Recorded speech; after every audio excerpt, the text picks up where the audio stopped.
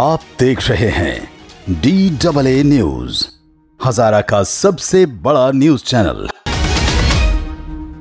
महकमा सुई गैस ने एबटाबाद के कमर्शियल सार्फिन बेकर्स होटल्स तंदूर, कबाब फरोशों समेत छोटे कारोबारी तबके के सुई गैस कनेक्शन ख़त्म करने का फैसला कर लिया और इस कारोबारी तबके को एलएनजी गैस पर मुंतकली के नोटिस भी जारी कर दिए। नोटिस वसूल होते ही बेकर्स होटल्स तंदूर कबाब फरोशों समेत ये छोटा कारोबारी तबका सरापाए एहतियाज बन गया और सुई गैस दफ्तर के सामने धरना देकर अपना एहतियाज रिकॉर्ड कराया। एहतियाजी मुजाहरीन की क्यादत करने वाले रहनुमाओं ने मीडिया से बातचीत करते हुए कहा बस ना लिए सब लोग मिलकर दमादम मस्क अंदर भी करेंगे। की छोटा कारोबारी तबका पहले ही मुश्किल से दो चार है। होशरबा महँगाई होने की वजह से लोगों की कुत खरीद न होने की वजह से कारोबार दिन ब दिन ठप होता जा रहा है। कारोबारी तबका के अखराज पहले ही बर्दाश्त से बाहर हैं। जबकि महकमा सुई गैस ने बेकर्स, होटल्स, तंदूर, कबाब फरोशों समेत छोटे कारोबारी तबके को एल एफ़ जी पर मुंतकली के नोटिस जारी करके जख्मों पर नमक छिड़क दिया है। और इसके साथ साथ महँगाई का नया तूफ़ान आ जाएगा। अगर महकमा सुई गैस ने फिलफोर एन जी पर मुंतकली के नोटिस वापस न लिए तो फिर न सिर्फ़ हम गैर मुहिना मुद्दत तक हड़ताल करेंगे,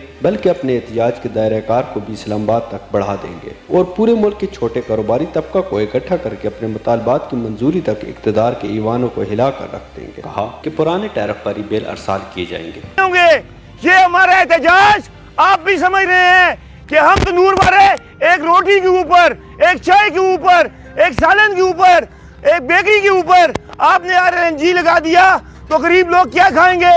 ये एलएनजी का बिल है जी ये हमारा कैमरा मैन अगर आपको दिखा सके तो ये बिल्कुल मेरे हाथ में है। ये देखें जी ग्यारह लाख बहत्तर हज़ार रुपये हमारा बिल आया है। ये जो मौजूदा हुकूमत है इसने बिल्कुल गरीब आवाम का और हर आदमी का जीना महाल कर दिया है। कि जो सुई गैस की तरफ़ से जो सुई गैस वाले जो हमारे ऊपर ये जालमाना किस्म के नोटिस और बैनर्फियाँ हमने हमें भेज दे रहे हैं हम इनको मुस्तरद करते हैं पूरे हज़ारा डिवीज़न में हम इनको मुस्तरद कर, कर, कर, करते हैं।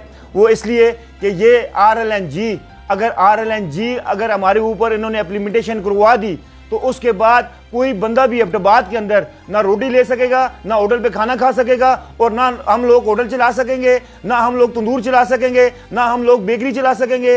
इसलिए हमारे जो हुक्मरान हैं, उनको मैं बावर करवा देना चाहता हूँ कि आप अपनी आप अपने हुक्मरानी के मज़े में हम गरीबों लोगों की चमड़ी उतार रहे हैं। मैं आपको बावर करवा देना चाहता हूँ। अगर सुई गैस वालों ने अपने ये जो नोटिस दिए हुए हैं, अगर ये वापस ना लिए तो इनशाला हम सब लोग मिलकर, हम सब लोग मिलकर दमादम मस्क अंदर भी करेंगे और इनके दफ्तर का मुआसरा भी करेंगे।